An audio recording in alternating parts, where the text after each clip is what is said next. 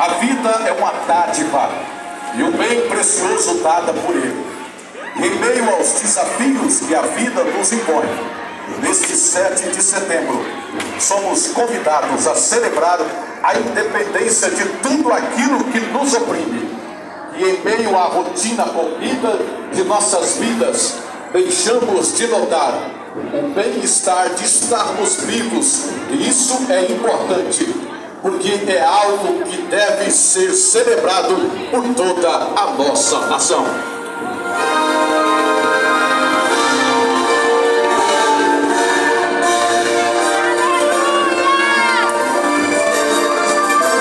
Temos também o pelotão dos nossos obreiros, unidos de pastores, dirigentes e congregação tendo em vista que a fé é pelo ouvir e ouvir a palavra de Deus. A Igreja Evangélica Assembleia de Deus tem a missão de pregar a palavra, a palavra salvadora, e oferece a possibilidade de transformação interior operada pelo nosso Deus.